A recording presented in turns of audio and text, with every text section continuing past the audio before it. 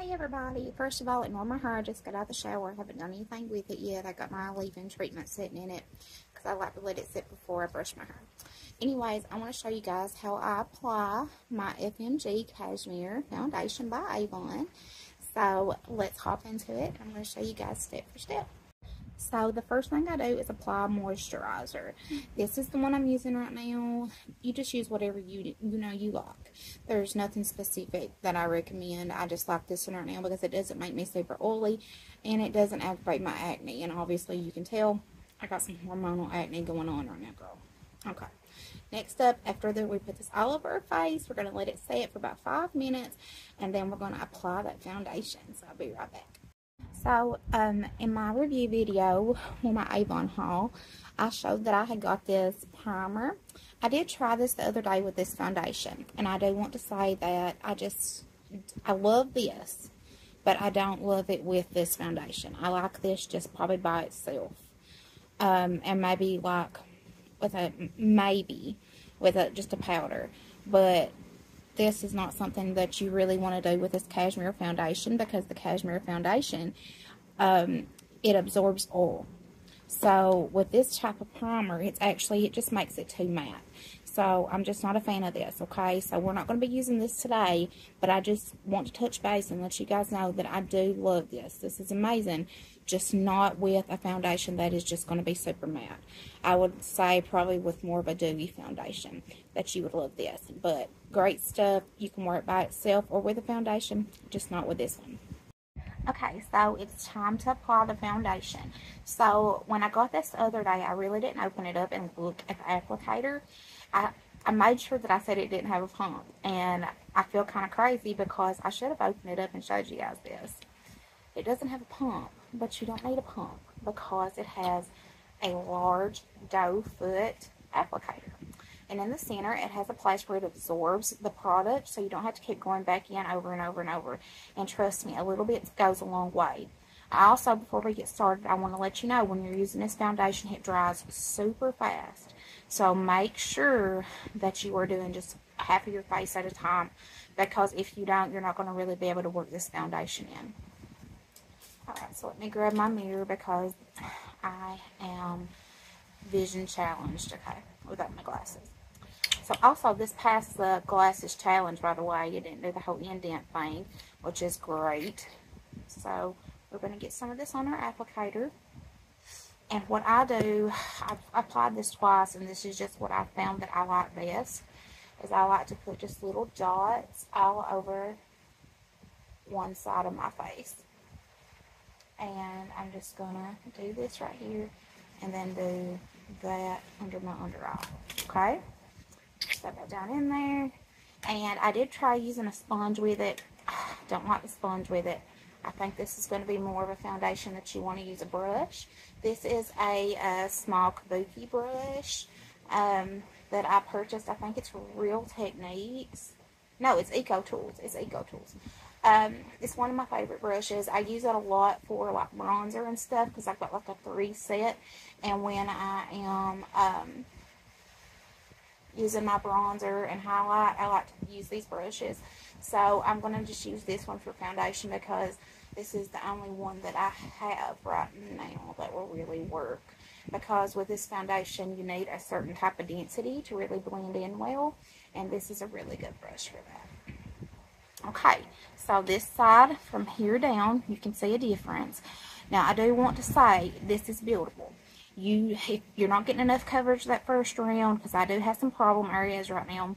It's just hormones guys. But you know if you need to go back in touch up. Definitely do that. But keep in mind we also have the concealer in this brand. I do not have the concealer but that will be my next purchase. So I'm going to go ahead and apply this to the rest of my face and I will be back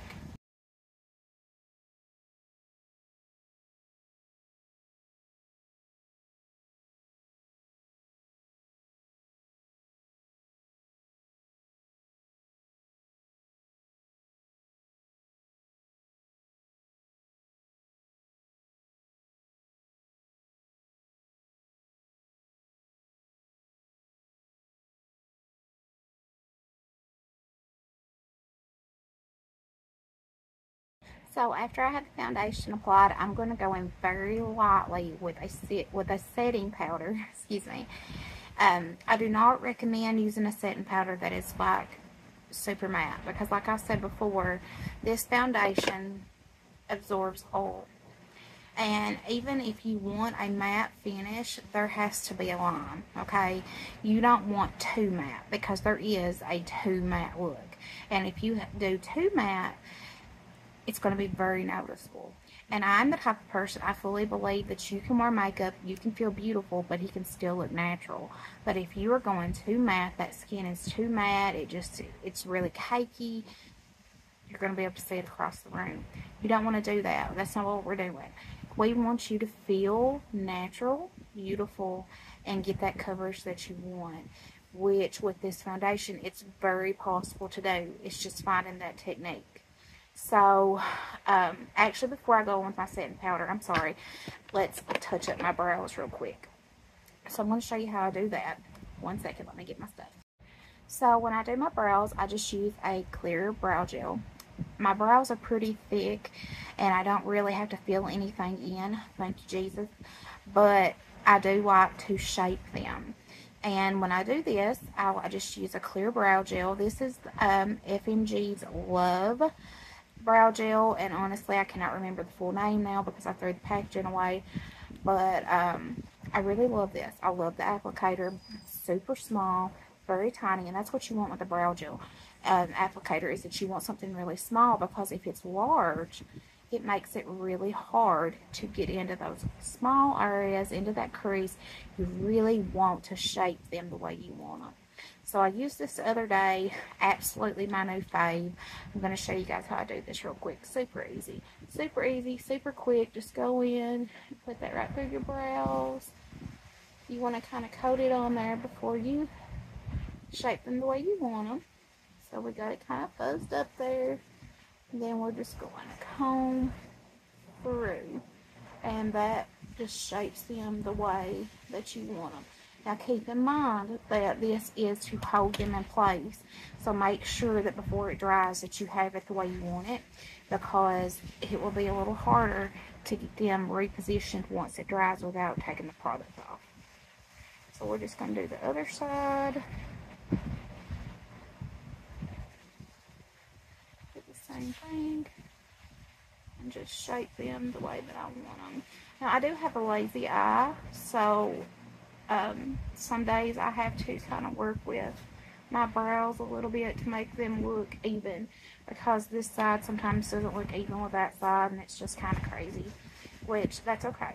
Everybody's got their little issues you know things they don't like about themselves. Mine's my lazy eye. It doesn't affect me all the time but no some days it really gets me all right so next up we are going to excuse me we're going to set this foundation with very light setting powder. Hold on just a second. So I'm just using a fluffy powder brush. This is the powder brush from Real Techniques. I've had it for quite some time. It's actually time for a new one. As you can tell, my little handle there's about had it. But I love this brush. It's one of my favorite brushes. So soft. So we're going to go in really, really lightly with this. And the only reason is that this is going to help this set and dry on your face and help it to not look so matte and unnatural. So just like that. Always get the, um, the excess product off your brushes too before you apply it to your face or your eyes or whatever because that's going to make a difference too on how things look. So major difference too by the way just as soon as I applied it major difference. So there we go. Alright, so that's got that set. And the next thing I'm going to do is I'm going to apply some bronzer and a little bit of blush. I'm thinking blush, but definitely bronzer. So hold on just a second and I'll be right back. So I'm going to show you how I contour my face. Um, these are not Avon products, so I'm not really going to show them very much, but this is the bronzer I use. Um, I love this bronzer, but Avon also has a bronzer that I really want to try. So, um, and I think that the shade may actually be a little bit better for me because this is just a little bit dark, but you can work with it. So I'm going to show you guys what I do. So the first thing is I take my larger kabuki brush, which is come in the same set as the one that I applied my foundation with. So what I do is I take just a little bit onto the brush, about like that, and then I'm going to just tap it. Make sure there's no excess because, like I said, this is a little dark. So I'm going to just first, let's start down here. And I'm going to down the jawbone and then through here for a little bit of color because I am very pale and don't don't don't start judging it yet because I'm going to blend it all in no nobody panic around that jawline and this also is a really good slimming technique for your face um, if that's something that you like to do so we're going to do the same thing to this side and I'll be right back And before I start blending, I'm going to show you how I do this on my nose. So I like to contour my nose. And sometimes I will use this little itty bitty kabuki brush. And then sometimes I don't do that. I'll show you what I do. Also, don't judge me because I know there's some people out there who's going to be like, oh my gosh, she touched her hands on her face. Oh no. Well, we're doing it, okay? Thumb, pointer finger, just take into the bronzer like that. like that. Don't judge me yet. Don't judge me yet. Okay? I have a process. And down the nose. Now we're going to blend. So to blend the product, I'm going in with the same powder brush that I used to set my foundation. And we're going to blend, blend, blend until we get it how we want it.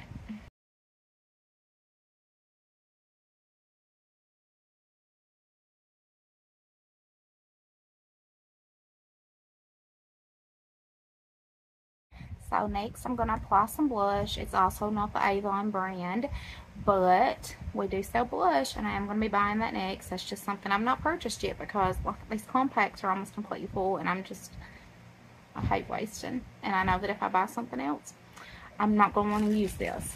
And I paid um, quite a bit for it. So. So we're going to go in with a little bit of blush. Um, bronzer did the trick, so we're not going to go very heavy with the blush. This is just to give it a really healthy um, pink look. We don't want to look too brown, but we also keep in mind as well, when you're contouring, don't make your face look like that you were wearing a mask. And the key to that was what I was doing is blending and blend downward into the neck area. So here we go with the blush.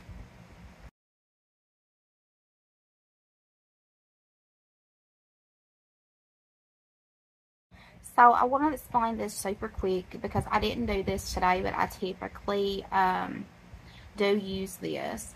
Also, not the Avon brand, but this is one of my favorite favorite concealers, and I highly, highly recommend it, even though it's not something that I sell.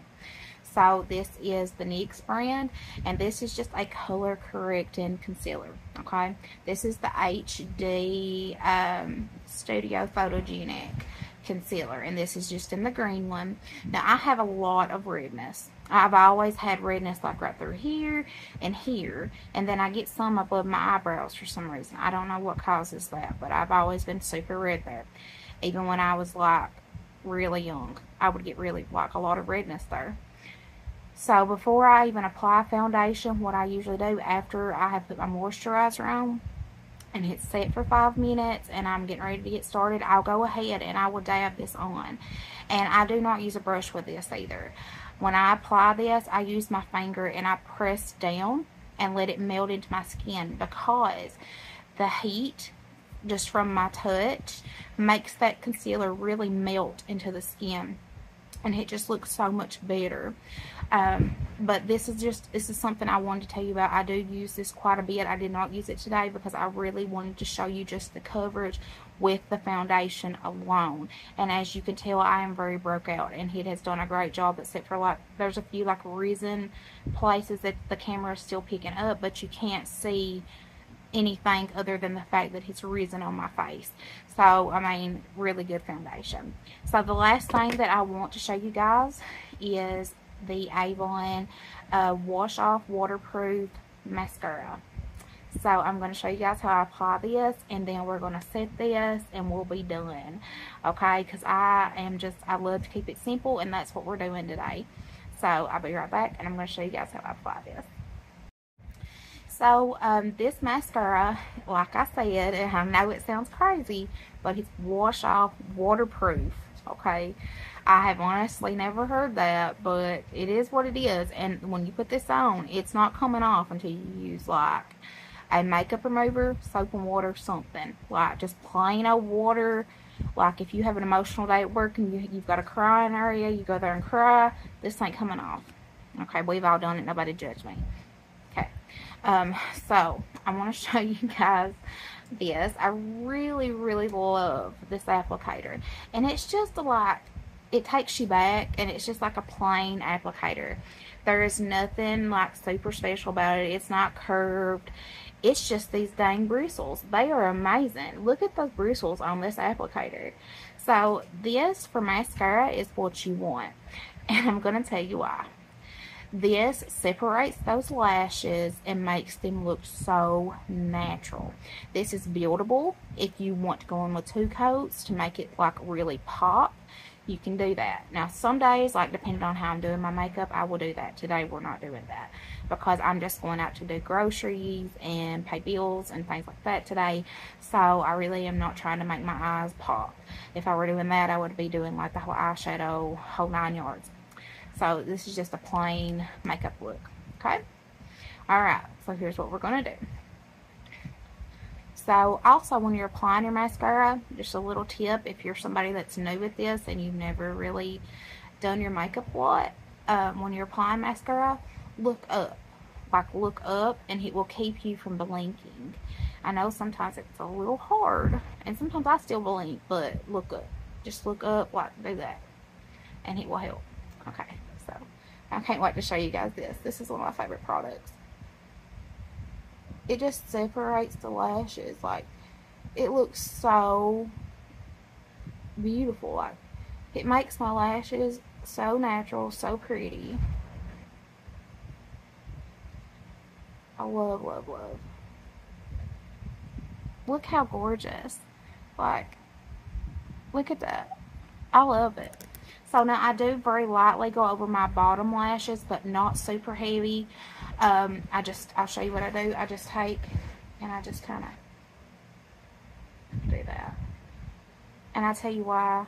Um, I don't know if everybody does this. I just noticed it with me.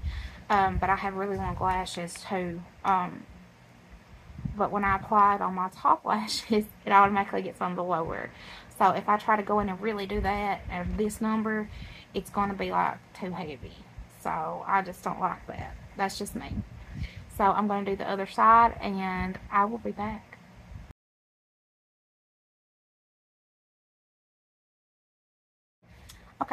So the last thing we're going to do is I'm going to let this set on my eyes just for a minute.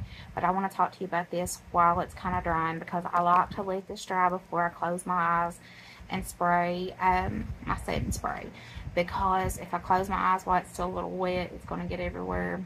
That's any mascara for me. Don't know if that happens to anybody else, but it does with me. Okay. So this is the Avon True Color Makeup Setting Spray. And this is just kind of a plain Jane setting spray. It doesn't do anything like super magnificent, but I will say this these, these two babies, have been my go-to since the company's released them. This is all that I use. It's all that I've ever bought, like, since these people released them. When the Porefessional came out, I ran, okay? Like, because I love the Porefessional primer. Bought this first thing. I always buy the small bottles, though. I'm going to tell you why. Because I use both of these. I alternate depending on the day. And then when Urban Decay did the all-nighter, yeah, in love. Because they have the, um, they have a regular one. I think this one's the matte. Uh, there's a difference. I can't even think. I always get this. No, this one's oil control. That temperature control. That's what the difference is. So I always get these two. I always get them in the small travel sizes because I go back and forth and they last me forever and they're super cheap. So anytime I go to Ulta, go to Sephora, I would come out with these. This is like, I think I paid $10. I can compare it to these two. And I don't know if you guys know anything about these, but they're a little pricey. Okay? Like, you know, if you're somebody buys it, you probably know. If not, look it up. They're a little pricey, okay? Um, this was 8 or 10. I can't even remember now. But, um, it's comparable. Um, it held my makeup in place all day. It doesn't have a scent. Um, it helped me combat oil. It didn't dry my skin out. I mean, it's just a really good setting spray. Now, the only complaint that I had was when I sprayed it on, there was like one or two little places where like little um, droplets were on my skin, but that was an easy fix because I just took my powder brush and just dabbed it a little bit and it was gone, finished. If you're somebody that's not going to like that, you're probably not going to like this because the reason being the formula is a little thick and that's the reason it does it. So I'm going to show you guys this. I really do like it. I do. And I really think that this is going to be my replacement setting spray.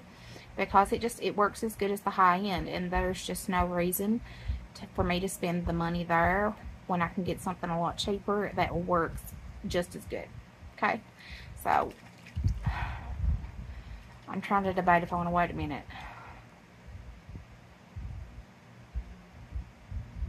Okay, I think it's okay. I just don't want my mascara to get on my under eye here, but I think it's okay.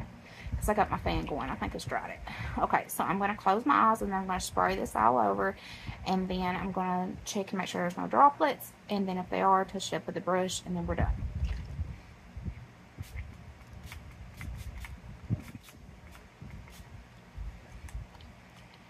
So you want to make sure that you coated your face with that instantly. Like, it, it makes it look better. I don't know why, but it does. Instantly when you spray it, your entire face looks better. Instantly. So let's make sure there's no droplets. Okay, there's like one, two, three. Those three little droplets. And they're like super small. You can't even like, yeah, it's not even noticeable. Yeah. No, I see one there. Okay. And we're done. So this is the foundation and I'm in love with this. I highly recommend. Like, if you've not tried this, you need to get it. Send me a message. I will hook you up. I can color match you, get you exactly what you need. Also, if you're local, I have some samples. So, and though the samples are free. So, just send me a message. And I hope you guys enjoyed this video, and I'll see you later.